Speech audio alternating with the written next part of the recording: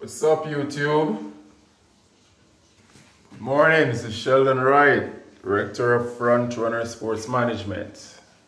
Now we're to try to see if we can get some work today, some actual work done today.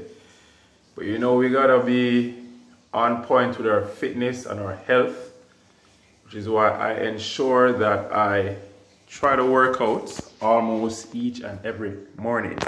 Unfortunately, I'm unable to really do much, but you know, that's why I still incorporate home workout. I'm just gonna show you guys what I have here. Check it out. So we basically rent the rooms at my house. I had a firefighter live here and he left this on the wall. Look at that, prolific. Yeah, the mirror's a bit dirty. I need to clean that I know. This guy's a nice little home workout. Push up, abs, squat, dips. Guys, I want to tell you something. You see your fitness, your health, it's really your wealth. I want you guys to take this seriously. When I fell off, when I lost a job, didn't have any money. I thought I was lucky enough to find this gym in Spanish Town, Greg's Extreme Fitness Center on the Brunswick, upstairs AJ Supermarket. The owner was cool enough to just let me work out before I could even pay. And I was in bad shape, mentally, physically, everything. And I needed, you know, a family. And that place literally saved my life.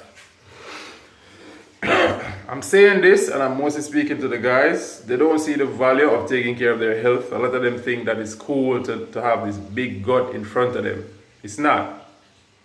It's not even healthy. Fat attract cancer cells. And I want you guys to take this lifestyle seriously. So for me, it's all about, you know, taking interest in my body because, you know, I like having a good body. As a person who was interested in being a pro athlete, you know, I'm always about trying to maintain that frame, you know, my masculine frame in order to, you know, you're walking on the street, you have even ladies looking at you. You want to approach and talk to a lady. You know, the, the, the, the workout, you know, the exercise, it gives you a natural confidence. Most guys don't understand that. It's not only just being able to talk to a woman, but it's actually having the confidence to actually approach her. And that's what I wanted to really talk about in this video today. You know, mostly the importance of men taking care of their body, their mind, and their spirit. Further help them with self-development. So this is more of a self-development video today. I want you guys to see the value in doing all of this. So I'm out here.